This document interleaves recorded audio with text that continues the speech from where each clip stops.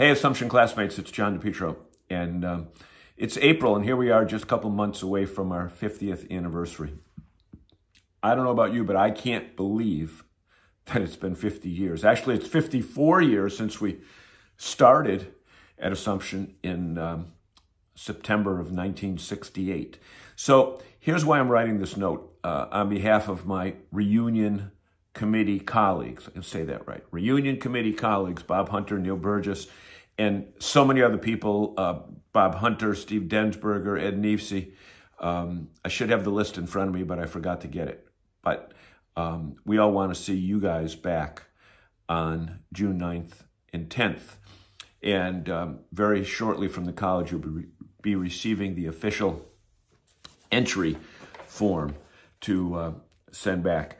But um, what I did back during those all four years at Assumption, whenever we had a flyer that was sent out from the dean's office, um, you know, into our mailboxes, I, like this, I kind of saved it.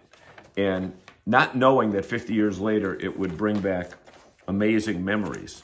Um, I've got a bunch of stuff here I'll show you photos of, but a couple of things that I want to um, focus on this particular email video is this. Class, class meeting minutes from November 2nd, 1970. And I'll read it to you. The meeting was called to order at 7 p.m. for the 19 class members present by President Jack Brashani.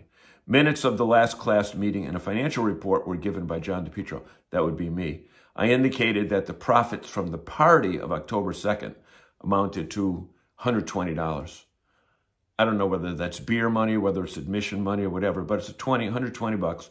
And there presently is $212 in the class account. Next, Al Tolero, the junior representative to the SPPC. I think that stands for Student Personnel Policy Committee, reported on the committee activity. He mentioned that through the work of the committee, the sign-in sheet for parietal hours has been discontinued. Major accomplishment. Fike Falsetti, not Mike Falsetti, but Fike Falsetti, social chairman. That was before the term social chairperson existed. Expressed the possibility of opening a bar on campus so you didn't have to drink in your rooms. Presently, there is one operating at Stonehill. He made a visit there recently and indicated that the situation looks good for starting one here. Interested students should contact him for further information. Another party is being planned for November 20th. It is hoped that this can be a country western affair with appropriate attire. Don't remember that. Continuing, Bill Wiles, former member of the Academic Affairs Committee, commented on the proposed calendar and academic reforms that have been posted around campus. He indicated that these were the work of Jack Nyhan without the help or approval of other committee members. Looks like there's controversy here. A complete report of the situation was presented in the last issue of the Provocateur. He stated that Bob Mills and Terry Mack, both juniors, resigned from the committee due to the tactics employed by Jack Nyhan. The senators present discussed SGA activity so far this year as the final topic of the meeting, which was adjourned at 7.45. So we got that all done in 45 minutes. So that was one thing. I also found some flyers. Hopefully this will be visible to you. It says Cactus and the Youngbloods in concert at the Assumption Gym. Two shows, 4 and 8 p.m. Freaks in advance, 350 Everyone else at the door, $4. Tickets available all over the place. So that was that. Then I picked up a copy of the Provocateur somewhere here. This Provocateur, which interestingly doesn't have a date on it. Oh, December 21st, 1971. So that must have been senior year. And I read a story. AC's Whitinsville entry. A group of determined Assumption College students have recently organized and entered a basketball team in the Whitinsville Community Center Basketball League. The, here is this roster. The roster is talent laden, indeed, with the likes of Bobby Austin, general manager, Mike Parachuk, player coach, Ed Nefsey, captain, Rick Lincoln, Brian Jerome, Dennis Ferrante, Jack Taglia, Larry Trombley, Frank Sidlow, and Reed Willis, not to be confused with Willis Reed. Okay, Mr. Joseph Garvey, the owner and proprietor of Leitrim Pub, has graciously agreed to sponsor the team, along with providing beautiful new uniforms. So far, the team has been quite successful.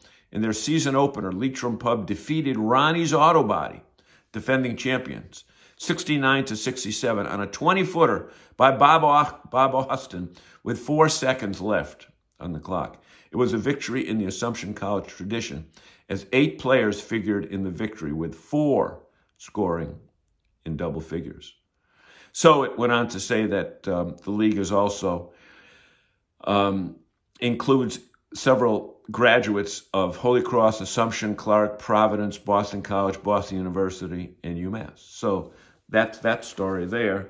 And I found another story which was kind of interesting, and it was Assumption College versus, actually, this is the program, Providence College versus Assumption College in 1970. So the Assumption lineup, starting lineup, on offense, Ralph Bartley at center, Mike Hoban at guard, Zoll Roy at guard, Vin Britt at tackle, Bernie Reich at tackle, Jim Smoley at end, Joe Parmakian at end, Mike Fleming, Mick Fleming, halfback, Steve Green, halfback, Bob Doyle, whatever F means, fullback, and Phil Lamarb, quarterback. And moving over to defense, Paul Cochran, Steve Lindbergh, Bill Pakulis, Ed Albanese, Paul Tessick, Kevin McNeil, Rich Quagliaroli, Al Agby, Frank Frontera, Ed Mahan, and Ty Smith was the safety. One other thing that I found was very interesting in this um, locker, foot locker full of stuff was this thing that appeared in the Assumption, uh, in the Worcester Telegram. It was the Assumption College Special report, Assumption College 65th anniversary report. And it's got pictures of the chapel and all that other stuff. But there's pictures here, and we found one of our own Bob Hunter, number 19. What does it say here? He would he could be a star on the team getting set for preseason practice or just a fan. That was what it says about Bob Hunter. But nobody knew that he would become manager extraordinaire, and still to this day, the only person to win the Al Banks Award twice in the same season. So there are some other people here that maybe you know um, that I can see. Uh, who else? Oh, there's Helen Sia, Dave Harvey, Melanie. Remember when Melanie came to Assumption? Uh, Joe Araby, Jim Weslowski and his not yet wife, who I think is still his wife about 50 years later. And there's a picture of the campus, which is just a much, much smaller than it is right now.